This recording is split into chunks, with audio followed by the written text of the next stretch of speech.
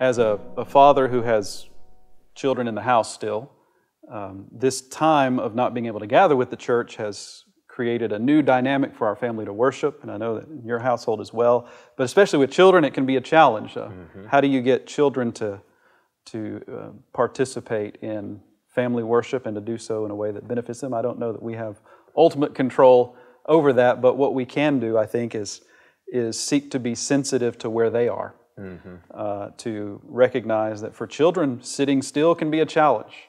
Uh, listening to something for a long time can be a challenge. And so, um, for my family, I prefer simplicity mm-hmm. in family worship. I don't want to make it too complicated or too taxing upon them. Uh, but we just gather around in the living room on Sunday mornings. We, um, we read a scripture and pray together to begin. And we sing one or two songs uh, together. And uh, of course, you can use technology to help you do that. If you play an instrument, uh, all the better. Mm-hmm. But, uh, but we sing together and then we listen to the sermon for that Sunday and then we close by singing the doxology together. It's a very simple format. Um, families, uh, uh, families in our church, families in churches across the, the nation, um, I would just encourage you to be intentional and, uh, and take responsibility to make sure that you are worshiping together. Put some structure in place, but don't worry about being too elaborate with it. You have any thoughts? I, th- I think that's excellent advice for families. Uh, Tammy and I have raised our children, so we're on the other end of this. We're on the, the old old folks end of of this, and uh, one thing one thing it affords for us is we get up early anyhow. Uh, like I like to say, you can lay in bed and hurt, or you can just get up.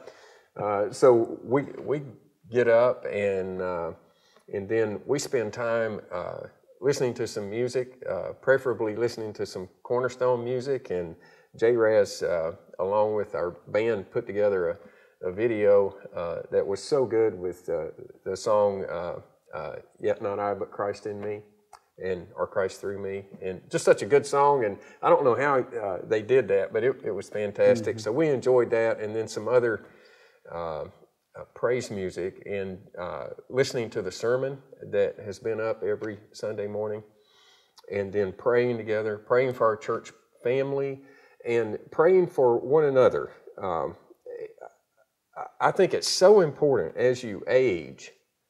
Uh, it, I mean, it's important when you're young, it's important all the time, but especially as you age, uh, get together with your spouse. Your children are gone, and spend time praying for one another and pray through those uh, uh latter years of your life. You're going to have more and more to pray about because you're going to have more and more aches and pains.